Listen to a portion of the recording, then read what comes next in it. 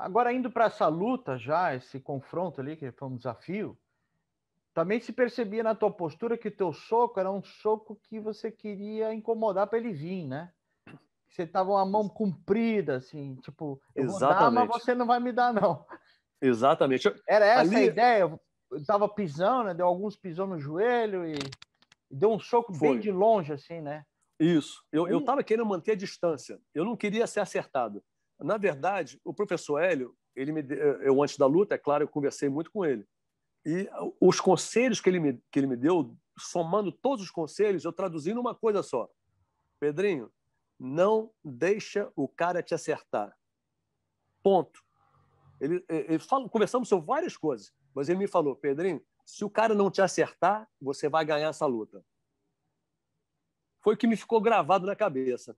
Falei, pô, eu não, eu não posso entregar 100 pounds, que na verdade é que 50 quilos quase, né? Eu não posso entregar 50 quilos, da diferença de 50 quilos para esse cara, e ficar aqui e deixar esse cara me dar um soco na cara. Se ele me der um soco, eu vou, eu vou cair desmaiado.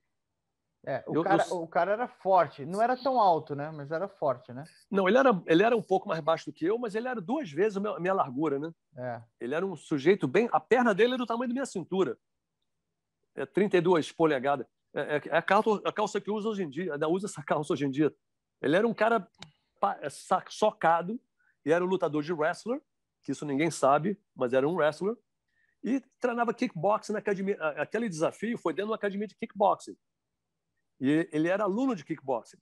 Só que você viu que ali eu não deixei o pisão ele ficou, ficou de lá, ele, ele não sabe o que fazer. Ele começou a tomar aquelas patadas ali na, na perna dele começou a machucar também. Eu deixei a perna dele toda toda roxa, sabe? Os pisões que ele tomou, tomou cada pisão, aqueles, o saco, aquele pisão do saco do professor Hélio, lá da academia. Cada pisão foi, foi aquela estalada, pá, era pisão mesmo, com vontade, sabe? No dia E ele o engoliu todos. No dia seguinte, o cara não anda. Não anda. Ele, A ele gente não todos. percebe isso em vídeo e tal, mas no dia seguinte o cara não anda. Não, o cara estava ruim. O cara no dia seguinte estava ruim. O cara passou. é, no dia seguinte estava prejudicado. Ele, ele machucou, quebrou o nariz dele, machucou um pouco. Ele me deixou todo ensanguentado, mas sangue dele, né? Eu não tive um arranhão naquela luta. Agora, professor, outra coisa que chamou atenção, eu revi essa, essa luta hoje. E no primeiro momento ele veio para a guarda, você já mandou um, um gancho e raspou, só que não deu nem tempo, o cara, blum, blum, de novo. Isso aconteceu duas vezes. Me chamou muita atenção também. O cara era muito forte, o cara vinha com movimento sequencial, né? Que que- Uhum. e- me fala o que, que você pensa, pensava numa hora dessa? Pô, agora vai, montei, blá, blá, blá. guarda de Ele- novo. A minha cabeça, a minha, na mentalidade, eu falei, ele deu sorte. Ele deu sorte de novo. Na minha mentalidade, eu falei, ele deu sorte. Deu sorte de novo, porque assim que a gente caiu no chão, ele que me atacou, né? Ele, ele, ele pô, 250 pounds, ele, ele veio igual uma flash em, em cima de mim. Então, quando, ele, quando eu caí no chão, ele caiu numa, numa guarda tipo borboleta, praticamente. Eu caí com um Ah. ganchinho, não deu para fechar a guarda em volta dele. E a, a outra- nunca deu, pra, eu não consegui fechar uma guarda em volta dele. Não deu para fechar a guarda, porque ele já estava, ele quando ele caiu, ele, ele caiu e ficou me, me empurrando, ele numa forma assim com muita velocidade assim, né? Então minha, ele caiu no meio das minhas pernas. Ele não caiu assim dentro. Eu fiquei com os dois pés por para dentro. E ali eu raspei na hora. Você vê que era a primeira vez que ele, que ele caiu, que nós caímos, eu fiz aquele ganchinho, levantei ele, brum, e raspei ele na hora. Se eu tivesse estabilizado aquilo ali, ia ser aquele massacre. Mas como ele, ele, ele conseguiu com o momento, e se você reparar, ele estava com um braço em volta do meu corpo. Foi aquele braço que me tirou de cima duas vezes. Ele era tão forte que o braço dele, ele conseguiu me tirar com o braço. Sim, Não sim. foi só a barrigada. Foi o braço dele.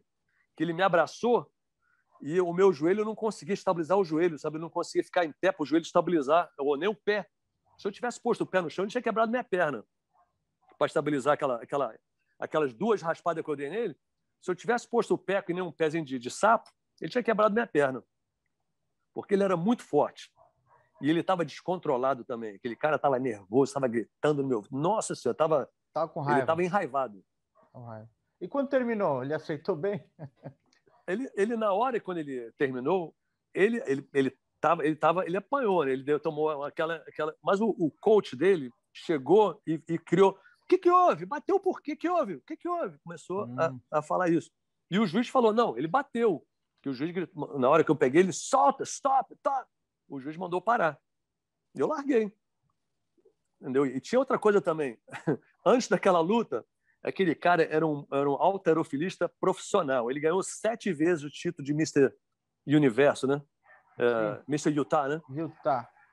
Mr. Utah. Ele ganhou sete vezes. Ele era um cara.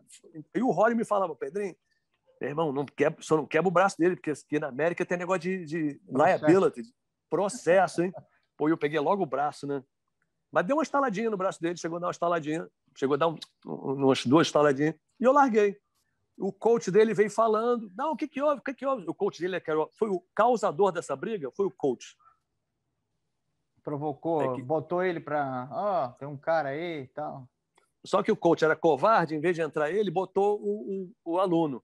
Entendi. E ele tinha me visto, o, esse Lance, o, o, o bodybuilder, ele me viu andando na rádio, ele era ele tinha um, um, um show numa, numa rádio chamada K-Bear 101. Era uma rádio lá de Salt Lake City. Quando o Royce lutou o Ultimate 1, eu, eles me chamaram nessa rádio. Aí eu conversando lá, falando coisa e tal, bababá, ele, ele, esse Lance me viu andando, ele achou que eu era muito magrinho. Ele falou, pô, esse cara é muito magrinho, isso aí qualquer um, pô, isso aí não aguenta uma briga não, não sei o quê.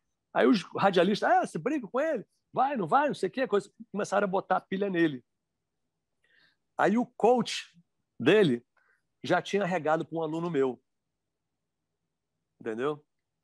O aluno meu foi lá na academia dele, quis brigar com ele, ele não O cara até que estava na.